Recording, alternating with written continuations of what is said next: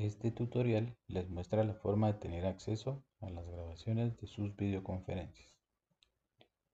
Para poder visualizar la grabación, debe dirigirse al GES, a la sección de cursos actuales y luego buscar su curso.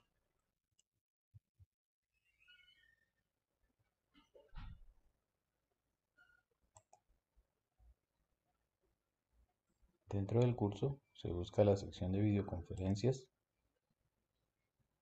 y luego la pestaña de anteriores.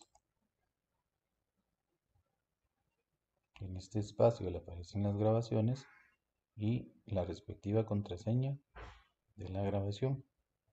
Hacemos clic sobre eh, el enlace que tiene la duración y copiamos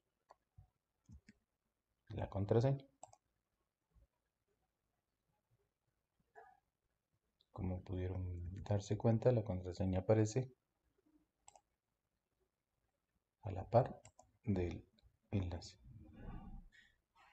Aquí aparece información, eh, por ejemplo, de la fecha de inicio, la fecha de finalización, la duración, el link y la contraseña. En el caso de la contraseña hay que tener cuidado de seleccionar todos los caracteres.